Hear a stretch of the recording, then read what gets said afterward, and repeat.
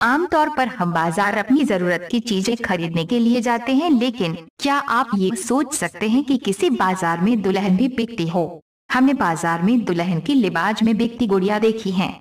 लेकिन जब आपको ये पता चले कि एक ऐसी जगह है जहाँ जीती जाती लड़कियाँ दुल्हन के लिबाज में बिकती है तो कितना आश्चर्य होगा। लेकिन ये बात सच है, जहाँ दुल्हने बिकती है, बोली लगती है और लोग दुल्हनों की वाजिब कीमत चुकाकर उन्हें ले जाते हैं।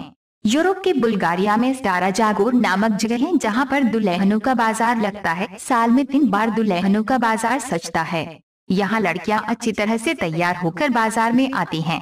वो बाकाया सज धज कर एक दुल्हन की तरह दिख रही होती हैं। बुल्गारिया के ऐसे कई परिवार हैं, जो आर्थिक रूप से सक्षम न होने की वजह से अपनी बेटियों की शादी इस तरह तय करते हैं इसे इस तरह समझिए कि एक पारिवारिक मिलन समारोह हो रहा है और दूल्हे वाले दहेज दे रहे हैं। कई पुश्तों से बुल्गारिया के गरीब लोगों की ओर से यह मेला लगाया जा रहा है।